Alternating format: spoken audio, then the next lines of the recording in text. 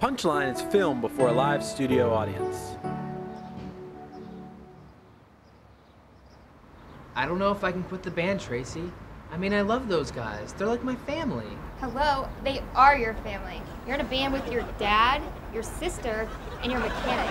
And why does he live with you again? But like, I mean. What? What? I mean, come on. They didn't remember your birthday.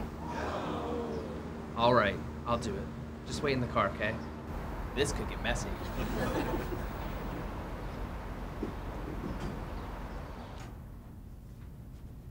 Hello? Why are the lights off? Surprise! I thought you guys forgot my birthday. Uh, now how can I forget my favorite son's birthday? Dad, I'm your only son.